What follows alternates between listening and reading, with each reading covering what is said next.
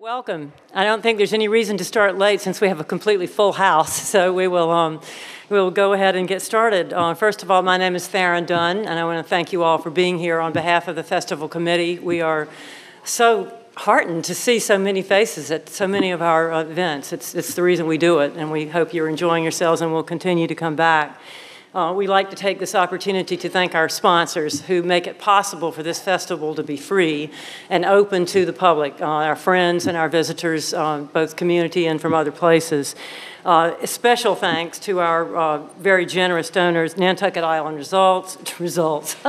well, they do have good results, but Nantucket, Nantucket Island Resorts, uh, Wendy Schmidt, the Nantucket Athenaeum, the Inquirer and Mirror, uh, WCAI, uh, N Magazine, Half Productions, the Nantucket Historical Association, and the Dreamland Theater, uh, all of whom have helped really have made this festival possible. we the work that we do goes on year round. The festival is, is our showpiece, but we do work with the schools year round here, and uh, that's also possible by donations from our friends and, and neighbors as well as these um, generous donors. So we have forms if you'd like to make a donation as you go out, and we also have cards so that you can give us your email address if you'd like to be notified um, about what we're doing. We like to let you know. Uh, after Carl Safina's presentation, he will be signing books. Um, books will be for sale, so please uh, avail yourself of that opportunity. Uh, please uh, note the emergency exits, silence your telephones, and I now give you Cormac Collier, the Executive Director of the Land Council, a very important part of our community, to introduce Carl.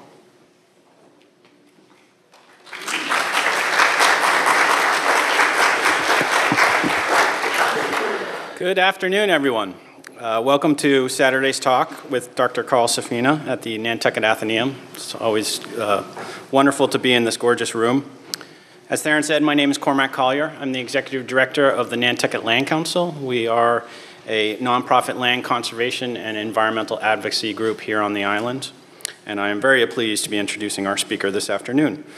One integral aspect of the work that I do is to discuss the why of conservation.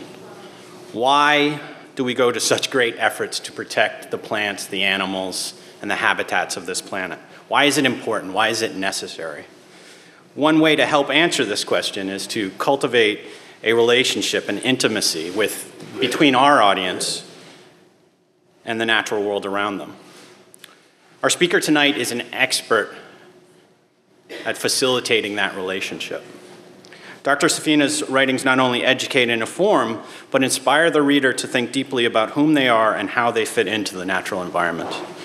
Dr. Safina's writings have won Orion, Lannan, and National Academies Literary Awards, John Burroughs, James Beards, and George Rabb medals. He has a PhD, he has a PhD in ecology from Rutgers University and is the inaugural holder of the Endowed Chair for Nature and Humanity at Stony Brook University. Won't you please help me welcome Dr. Carl Safina?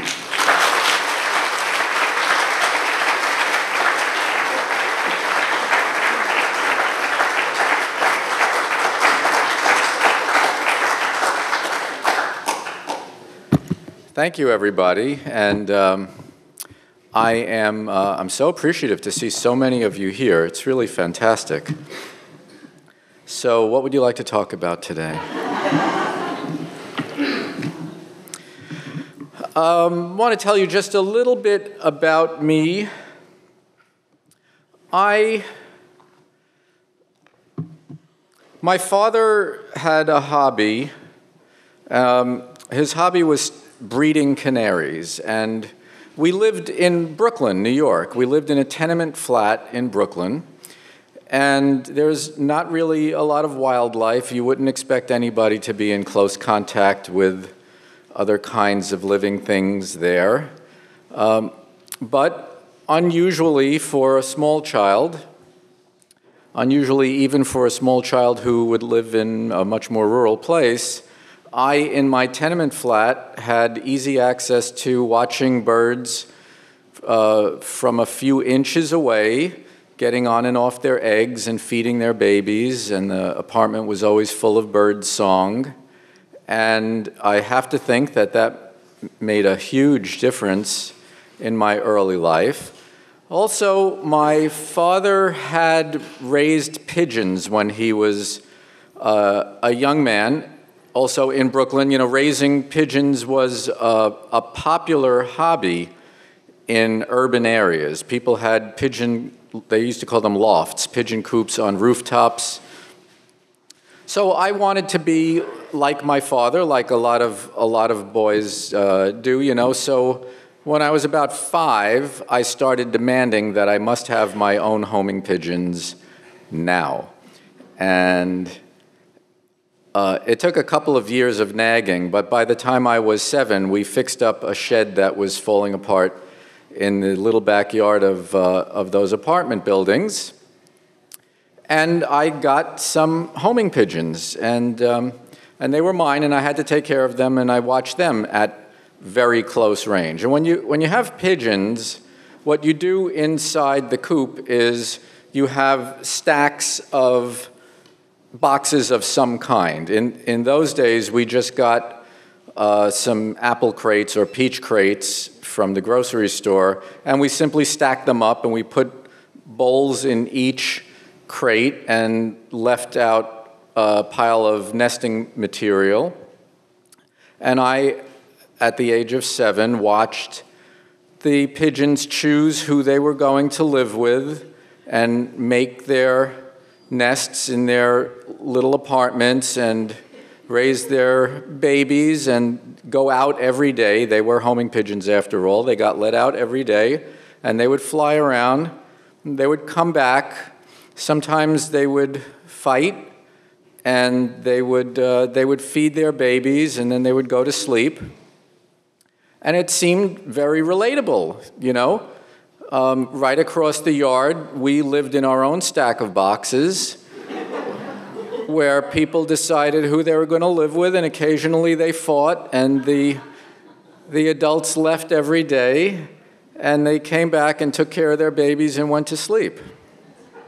Now, I didn't know in those days, I didn't know anything about what you were allowed to believe about animal behavior or animal minds. It just seemed to me that in broad strokes, we were identical.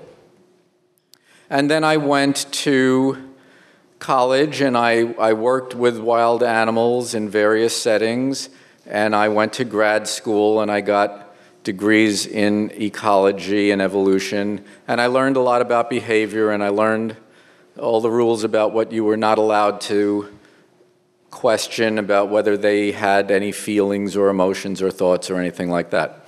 So I learned all of that, but um, the idea that we were all basically the same in broad strokes has never left me because I think it's true. Um, if you really think about what our lives are about, we try to stay alive, we, we have to find food and a place to live, and we try to keep our babies alive, and that's pretty much it. So um, that's the feeling I've had about them. But you know, if you were at uh, perhaps Jodi Picoult's talk earlier today, or um, or Isabel Wilkerson's talk talking about race, race is largely about not understanding who we're here with. That's what the problem really is, and there's even a larger gap, I would say, uh, between what we call humans and animals, even though humans are animals. We are all animals with the same evolutionary history, but we see this gigantic gap and we refer to all the other living things on this planet as it, uh, mostly because we don't know anything about them. We know a little bit about some of our pets who live with us, and those become part of our family because we know who they are, but we don't know who else lives with here lives with us here on earth. So that's what I was interested in, and I'm going to um, I'm going to spend most of the next little while reading some excerpts from my book. I'm trying to get my watch off here, actually my wife's watch. Um, so I can keep track of my time. And, th- and then we'll have a nice long question and answer period. But this is the, the very, very opening of my book, Beyond Words. Another big group of dolphins had just surfaced alongside our moving vessel, leaping and splashing and calling mysteriously back and forth in their squealy, whistly way, with many babies swift alongside their mothers, and this time, confined to just the surface of such deep and lovely lives, I was becoming unsatisfied. I wanted to know what they were experiencing and why to us they feel so compelling and so close. This time I allowed myself to ask them the question that was forbidden fruit Who are you? Science usually steers firmly from questions about the inner lives of animals. Surely they have inner lives of some sort, but like a child who is admonished that what they really want to ask is impolite, a young scientist is taught that the animal mind if there is such a thing, is unknowable. Permissible questions are it questions where it lives, what it eats, what it does when danger threatens, how it breeds, but always forbidden, always forbidden is the one question that might open the door Who? Who animals know who they are. They know who their family and friends are. They know their enemies. They make strategic alliances and cope with chronic rivalries. They aspire to higher rank and wait for their chance to challenge the existing order. Their status affects their offspring's prospects. Their life follows the arc of a career. Personal relationships define them. Sound familiar? Of course, because they includes us. But a vivid, familiar life is not the domain of humans alone.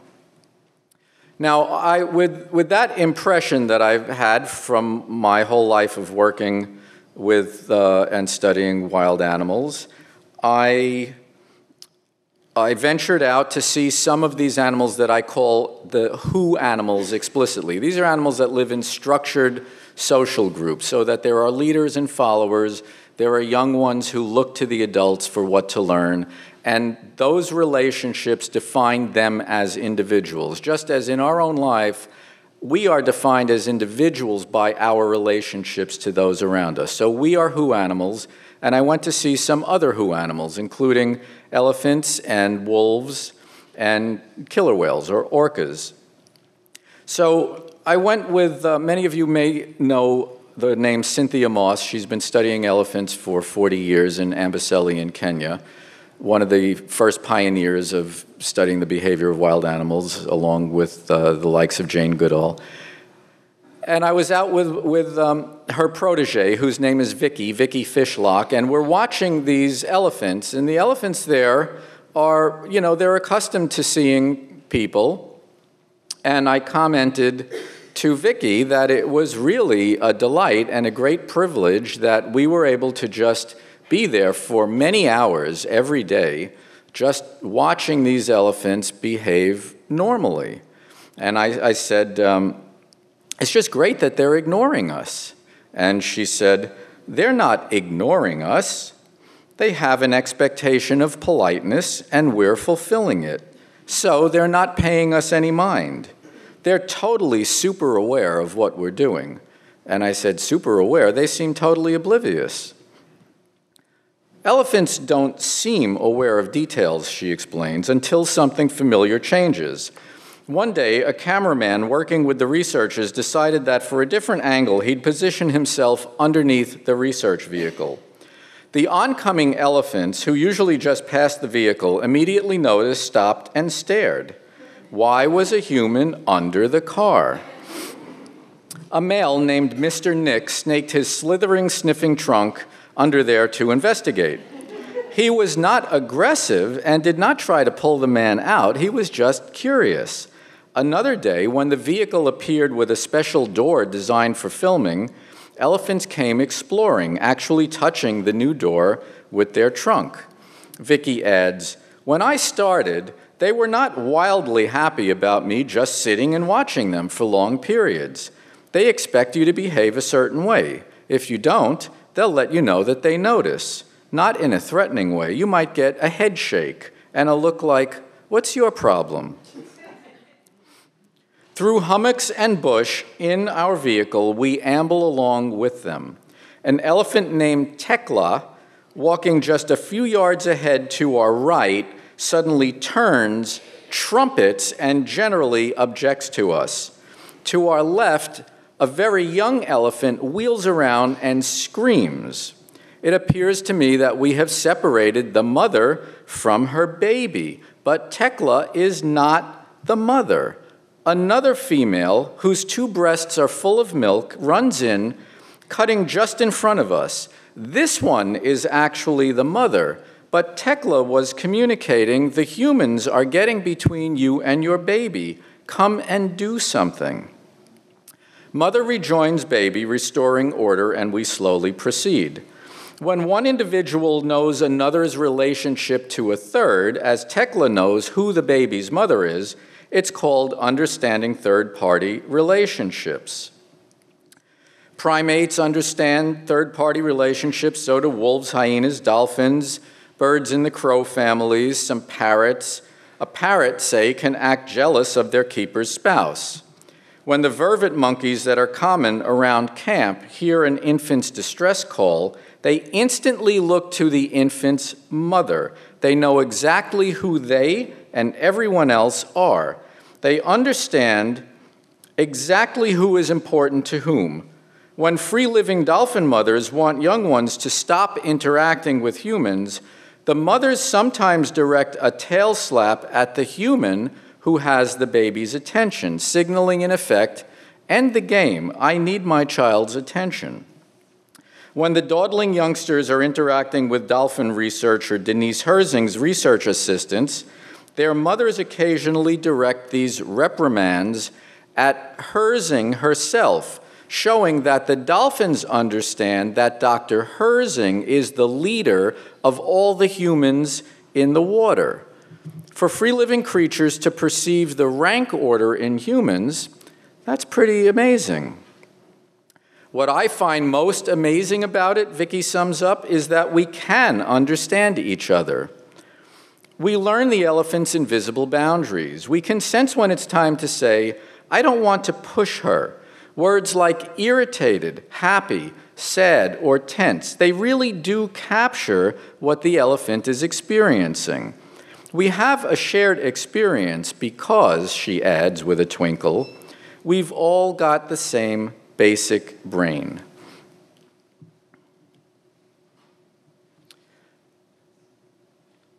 I'm going to go on here just a little bit more with the elephants because, well, I like elephants. Here's someone feeling a little silly, Vicky says, pointing. See her with that loose walk and that trunk swaying? I do. One day when I was new here, Vicky recalls, Nora and I were watching, and suddenly everyone started running around and trumpeting. I was like, what the hell just happened? And Nora said, oh, they're just being silly. I thought, silly? And the next thing I know, a full grown female elephant comes along, walking on her knees and throwing her head around, acting just daffy. They were just happy. They were like, yay. Everyone says how smart they are, but they can be ridiculous too. If a young male doesn't have a friend around, sometimes he'll make a little mock charge at us, then back up or twirl around. I actually had one male kneel down right in front of the car and throw zebra bones at me, trying to get me to play with him. when someone says you can't attribute human emotions to animals, they forget the key leveling detail. Humans are animals. Simply deciding that other animals can't have any emotions and human, th- that humans feel is a cheap way to get a monopoly on all the world's feelings and motivation. We never seem to doubt that an animal acting hungry feels hungry. What reason is there to disbelieve that an elephant who seems happy is happy? We can't really claim scientific objectivity when we recognize hunger and thirst while animals are eating and drinking, and exhaustion when they tire, but deny them joy and happiness as they're playing with their children and their families. Yet the science of animal behavior has long operated with that bias, and that's unscientific. In science, the simplest interpretation of evidence is often the best. When animals seem joyous in joyful contexts, joy is the simplest interpretation of the elephants, of, of the evidence. Their brains are similar to ours. They make the same hormones involved in human emotions, and that's evidence too. If an animal comes to lick you and lie down next to you, you assume it loves you, and that's a pretty reasonable conclusion, considering the enormous range of emotions that we label with the word love romantic love, parental love, infantile love, love of community, of country, love of food, of chocolate, love of books, of education, of sports, the arts. The word love is a catch all phrase for so many different positive emotions, emotions that motivate us to erase a distance, to protect, to care for things, to participate, or to stay. We say we love ice cream, a certain movie, practical boats, impractical shoes, or a summer day. Some people love fighting. If we allow ourselves to be so sloppy with such a seemingly crucial word, then one conclusion is inescapable. Animals love. Elephants and birds don't feel their love for one another the way I feel my love, but the same is true of my friends, my mother, my wife, my stepdaughter, and my next door neighbors. Love isn't one thing, and human love isn't all identical in quality or intensity. But I believe that the word that labels ours also labels theirs. Love, as they say, is many splendored, and love is the right word. Now, I'm going to um, I'm going to read something here. This is um, I mean, I hate to be so sexist, really, but this is only for the men. So, the women, you can I, check your email, or you, you don't have to listen to this, okay? But guys, you need to you need to listen to this. Men often feel some pressure to measure up as alpha males, to wolf up, as it were. Alpha male connotes the father who at every moment demonstrates that he's in total control in the home, who away from his den site becomes the snarling, aggressive, belittling boss. This alpha male stereotype is spawned from media misunderstanding of the real thing. Fortunately, for dads who have little desire to snarl at loved ones, and for those who do, the real male wolf is an exemplary male role model. By observing wolves in free living packs in Yellowstone National Park, I've seen that the leadership of ranking males is not forced, not domineering, not aggressive to those on his team. Actual wolves are not like that. The main characteristic of an alpha male wolf, says ranger and veteran wolf researcher Rick McIntyre, as we're watching wolves, is a quiet confidence, quiet self assurance. You lead by example and you have a calming effect. Point is, alpha males are non aggressive with their family. Think of it this way, Rick offers. Imagine two wolf packs or two human tribes which is more likely to survive and reproduce? The one whose members are more cooperative and more sharing, less violent with one another, or the group whose members are beating each other up and competing with one another? So, an alpha male in Rick's 15 years of watching daily as real wolves do their thing almost never does anything overtly aggressive to the pack's other members, who comprise his family, consisting of his mate, his sons and daughters, both biological and adopted, and maybe a brother. One famous wolf in Yellowstone, whose collar number 21 became his name, was considered a super wolf by the people who closely observed the arc of his life. He was fierce in defense of family and apparently never lost a fight with a rival pack. Yet within his own pack, one of his favorite things to do was wrestle with his little pups. And what he really loved to do, says Rick, was to pretend to lose. He just got a huge kick out of it. Here was this great big male wolf, and he'd let some little wolf jump on him and bite his fur, and he'd just fall on his back with his paws in the air, Rick half mimes. And the triumphant looking little one would be standing over him with his tail wagging. One year, one pup was a bit sickly. The other pups were a bit afraid of him and wouldn't play with him. One day, after delivering food for the small pups, the super wolf stood around looking for something. Soon he started wagging his tail. He'd been looking for the sickly little pup, and he just went over to hang out with him for a little while. For all Rick's stories about the super wolf's victories, that's his favorite. Strength impresses us, but what we remember best is kindness. The similarities between male wolves and male humans are quite striking. Males of very few species provide year round food and protection for females and young, helping procure food year round, bring food to babies, helping raise young to full maturity over several years, and defending females and offspring year round against individuals who threaten their safety.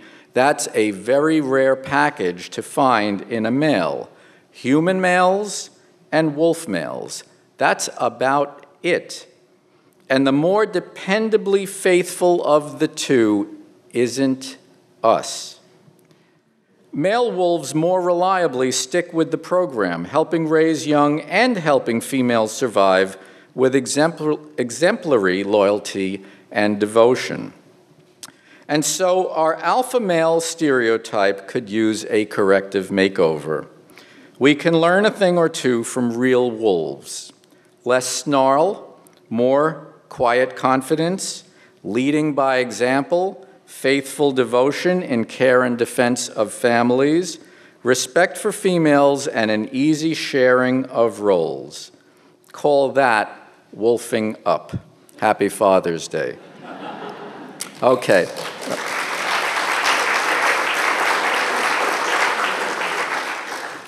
All right, ladies, may I please have your attention again? Okay.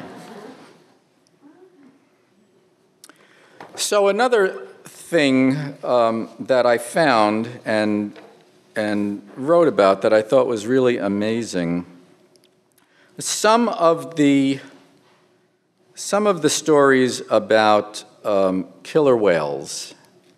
Killer whales, who some people like to call orcas. I don't have anything against the name Orca, but if I was one, I think I'd rather be called Killer Carl than Orca Carl. So all the researchers call them killer whales because uh, they do hunt things. And um, Orca means uh, basically demon from the underworld. It's not a very flattering name anyway. So, um, Yeah, so some of the things with, uh, with orcas, and I'll start with a, with a couple of stories about dolphins.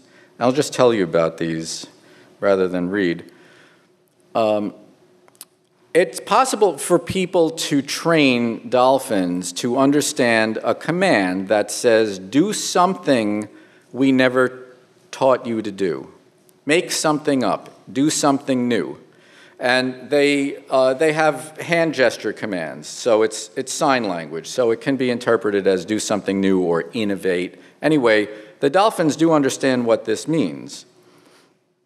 And the first time that anybody tried this, the, the two dolphins, these were two dolphins in Hawaii, they were named Phoenix and Akeakamai, which means lover of wisdom. They, um, they got the command, they understood what it was, and they you know, they were trained to understand what it meant, and they, um, they went underwater and circled around for a few moments, and then they both came out of the water uh, performing what would be a very complicated trick. Um, it was something like both of them spinning to the right and squirting water out the left side of their mouth, something like that. They had never been taught to do. And the, the, the trainer, who was actually a researcher, these were not dolphins that were used for entertainment. They were trying to learn the, the boundaries and the, and the borders of their mental abilities. They never figured out what the dolphins were doing to communicate that because they didn't seem to be using sound, and yet they did seem to be communicating to each other something really very complicated. In the Bahamas, there's a researcher named Denise Herzing. I mentioned her in the earlier passage. And she has been studying the dolphins there for about 35 years. They all know her really well, and they recognize the boat, and um, she knows them as individuals. She knows the groups, she knows who's related to whom. And she says that when, when they arrive in the boat, which they usually stay there for a couple of weeks, and then they go away for a couple of weeks. When they arrive, it's usually like a, a, happy reunion of friends. Everybody knows everybody. The dolphins come over, they bow ride, they jump around, and it seems all happy. But one day she got there, and the dolphins came in sight, well within sight of the boat, but they stayed about 50 yards away, and they wouldn't come near the boat. And she said to the captain, What is wrong with the dolphins today? This is bizarre. And then somebody came up from below and announced that one of the volunteers had just died during a nap in his bunk. Now, how would the, how would the dolphins know that one of the human hearts had stopped? And why would they care about anything like that? And why would they act like it spooked them? Don't look to me to answer that question. One of the people studying the, uh, the orcas, the killer whales, told me of a story where there was one who, it very, very, very rarely, a baby gets separated from its family. But this happened, I think, only twice in the last 40 years. And um, he went over to be with the baby. They were going to arrange to get the baby back to its family, which they did. So the happy ending uh, was happy in that case. And while he was hanging out, he noticed that um, the little orca was, was around a, a, a, short tree branch, something like this, that had been floating in the water and was, was kind of fooling around with it. So um, he, he picked up the tree branch and he tossed it, and the little baby went out and got it and brought it to him, and he tossed it again. And then uh, she, it was a female, brought it back, and then he went like this and she just started rolling in the water. Now, to, to get a dog to do any of those things, you have to train them, especially to roll over. You have to train a dog. You know, it takes patience and a few hot dogs usually. he, he said to me, I just went, wow. I mean, she knew what I had in mind, like her consciousness was just sort of linked to mine. There are no words for that. Another, perhaps um, spookier story is that there's a researcher named Alexandra Morton in British Columbia, and she, very early, early in her working life, when she was in her early 20s, she was working in uh, Southern California where they had I, I, think it was actually SeaWorld, where they had captive, uh, captive killer whales that they used for entertainment. They had trainers. She was trying to study their vocalizations. And um, she asked the trainer one day, How do you train these whales to do these unbelievable tricks? She had no idea how you could start training them to do that. So the trainer said, Well, I'll tell you what, you know, it's, it's late Friday afternoon right now. On, on Monday morning, when I come in, I'll, I'll show you. We'll do something that they've never been trained to do. We'll get them to uh, go around the tank, around the perimeter of the tank, slapping their dorsal fin on the water. We've, we've never asked them to do that, and I'll show you how I would start doing that. And one of the, one of the whales in the tank where they were watching these whales was named Corky. And she writes Corky rose and slapped her dorsal fin on the water's surface. She did it several more times, then charged around the tank, exuberantly, exuberantly smacking the water with her dorsal fin. That's whales for you, the trainer said. They can read your mind. We trainers see this kind of stuff all the time. Many, many years later, the same woman, Alexandra Morton, and an assistant were out in the open water of Queen Charlotte Strait in British Columbia in a little inflatable boat when she was enveloped in very, very thick fog. She said she felt like they were in a glass of milk. And she had no compass, so it was a little bit hairy because she wasn't entirely sure of which direction to go. She says 20 minutes later, they saw, uh, she saw a materializing outline of their uh, wait a second. Hang on a second. I just. Uh, uh-huh. Okay.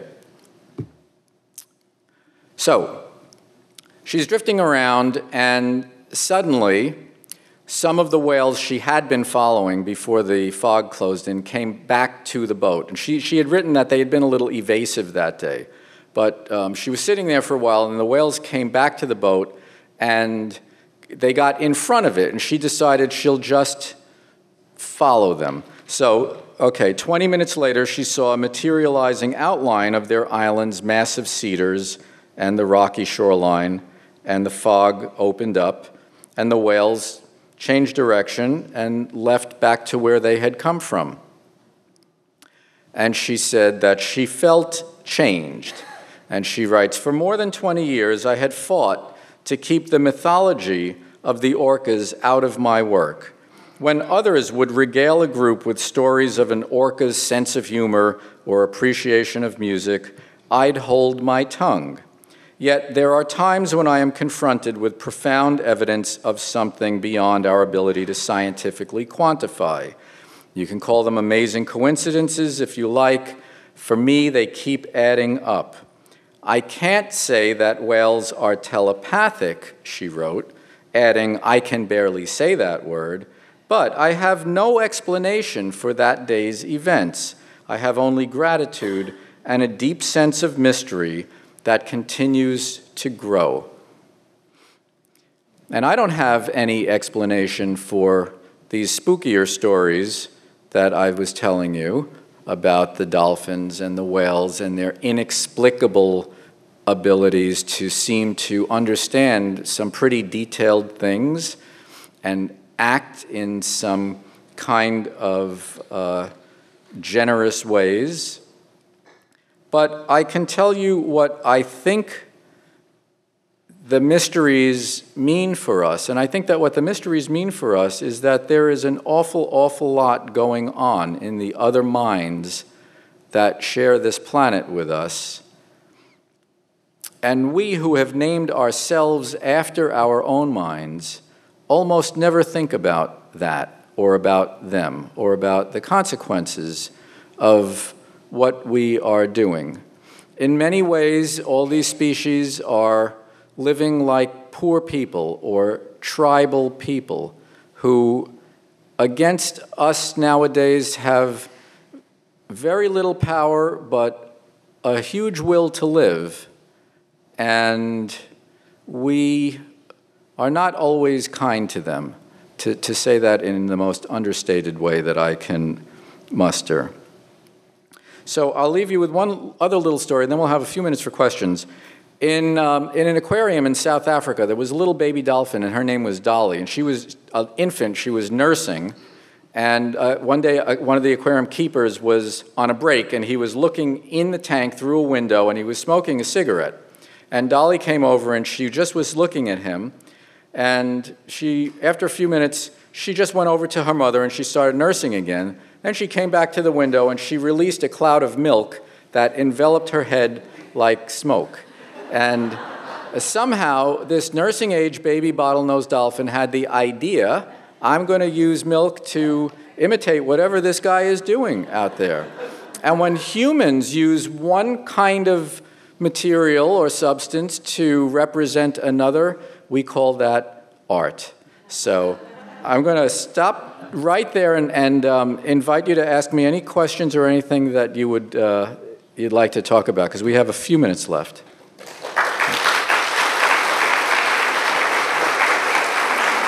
Thank you.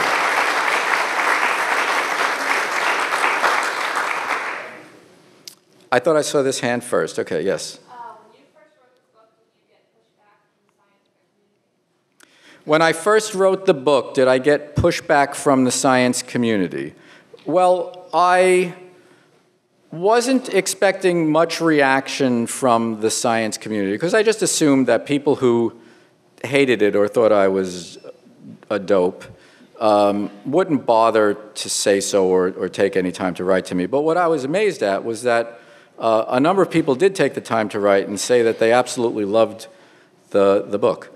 So um, I didn't get, I, I, don't, I don't remember getting any negative pushback at all, but I got some really, really uh, generous, really heartening encouragement from people who really enjoyed it. Uh, yes, you had, you had your hand up. Did you want to ask a question?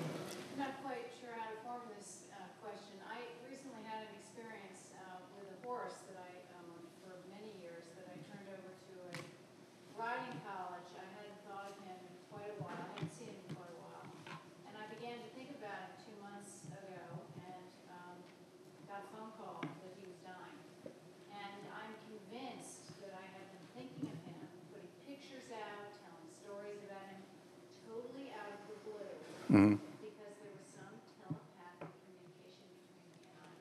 Right. Well, you know, science, a thing about science is that, that there are things that sci- some scientists say that, you know, you can't consider. Telepathy is one of those things that you, you're not allowed to consider, according to most scientists. But science is not supposed to have any rules. Science is supposed to have curiosity. So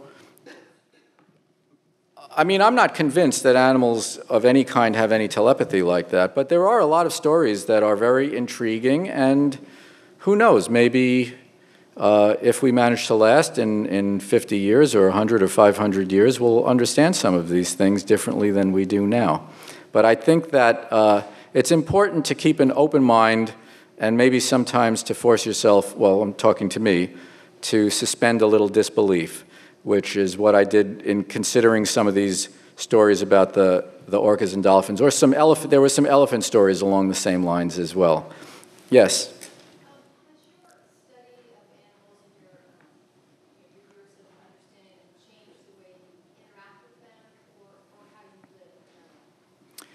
have my studies uh, changed the way I interact with animals or how I live?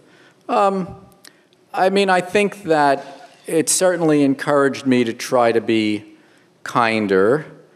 Um, I was trying to be kind all along. And one thing that the book really did for me that was totally outside the box was it, it brought up in really high relief important limitations of the human mind to me. You know, and if you just think about eh, think about other animals, think about what they don't seem capable of doing mentally. They have limitations. We can see their limitations. We are very, very bad at seeing our limitations. And we tell ourselves a story that we are perfected, perfected godlike beings. Um, but that's not really the case. We do have, we do have mental limitations and emotional limitations we are, we're quite imperfect. And um, considering how people are with animals and how, uh, how people have talked about animals and how people treat animals, not to mention how we treat each other in many ways still, um, you know, the limitations of the human mind really, really have stood out with me, for me in a way that they didn't quite before. Yeah. Yes.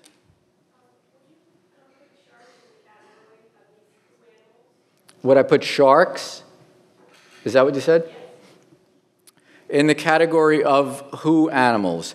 Um, not in the same sense Uh, well, I'll tell you. I'll tell you uh, what may be a little yes and what I would say no. They they tend not to live in structured societies where there are consistent individuals in groups that all know each other individually and um, have certain roles relative to one another.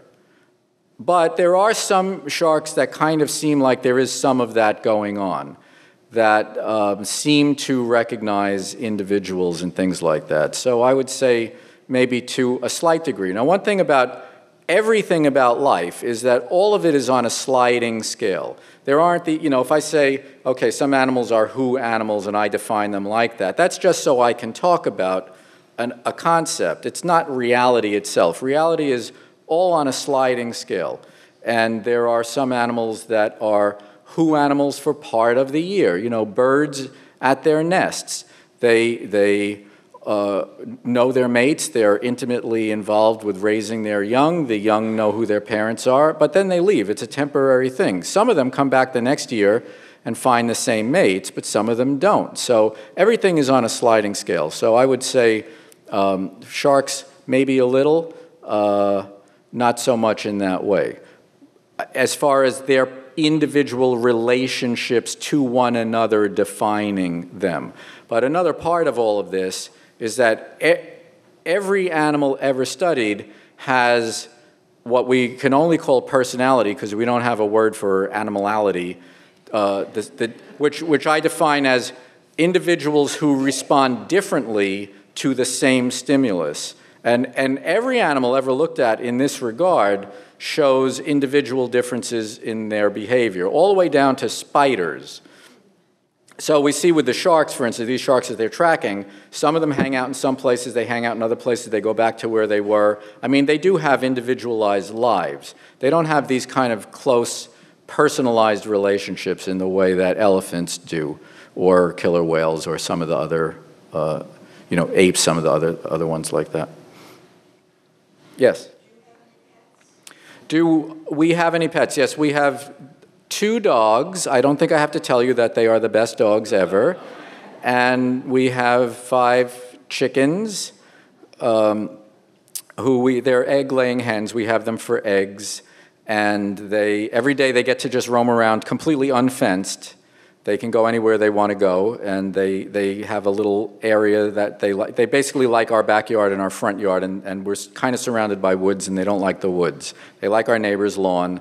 They generally they don't go out in the street. My joke is, why don't our chickens cross the road? And they, and um, and we have two little parrots that uh, somebody gave us, and we have Frankie the king snake. So th- that's our that's our current our current menagerie. Yes, and. Um, our, our hens are really nice. We call them the ladies or the girls, and um, and we, we have no, no interest in ever eating them. You know, we, are, we are a one stop uh, hen raising, egg producing retirement home for, for laying hens. Uh, yes, in the back I saw. Okay, okay. yes, please.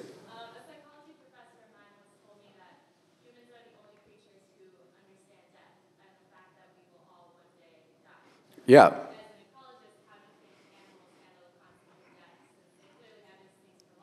Okay. Yep. Yep. That's a that's a real softball you just pitched to me because that the idea that humans are the only animals that understand death is is one of the many completely ridiculous things that people say when they start a sentence with humans are the only. Um, first of all, there, every predator needs to understand death in a very operative way because they, they, they they sneak up on things. They understand the element of surprise or when to wait until the potential prey's head is down before they launch their attack. And while the prey is struggling, they hang on and then they understand when it's over. So, in this operative way, they professionally understand death because they deal in it. There are um, many animals who um, hang around with dead babies for a while. Cetaceans and apes do this a lot, and then eventually they give them up. which, if a human did that, you would say they're grieving. Because when our baby dies, we don't just say, oh, it's dead, and walk away. Um, um, elephants, very notably, hang around uh, when they encounter the bones of elephants, especially the bones of elephants that they knew. In, one, in this research camp I was hanging out with, I wasn't there at the time, but a group of elephants, a family of elephants came into the camp, and they have about 30 skulls that they have picked up and brought to the camp because they use the teeth to see how old they are. And um, so they came in and they were, they were sniffing the skulls and uh, one elephant stayed with one skull a really long time while the whole family left, and he was with the skull of his mother. And they, they touched the teeth, and they, if they have tusks, which nowadays they don't have tusks anymore, they take the tusks out immediately, one way or another. Um, but these are what they feel when they greet. They put their trunks in and around each other's tusks and mouths. We shake hands, they put their trunks in each other's mouths. So um, there is that. Now, do humans understand death? No, we absolutely don't, because I guarantee you that very, very few people in this room think that when you're dead, you cease to exist. Almost everybody thinks they have an eternal soul. They, people kill each other over what happens to that eternal soul. Does it get reincarnated and come back as another person? Does it come back as another kind of animal? Do we start at birth from nothing and then live for eternity either in heaven or hell? Or have we always existed? Uh, people believe all these kinds of things because most people actually cannot possibly conceive of death, meaning you're done. You, you didn't exist before you were conceived, and when you die, you won't exist anymore. Very few people have that concept, but some do, and, and other beliefs about death are all over the map. So I would say that humans are not only not the only ones who understand that we die, but humans don't understand really anything about death because they can't agree on it.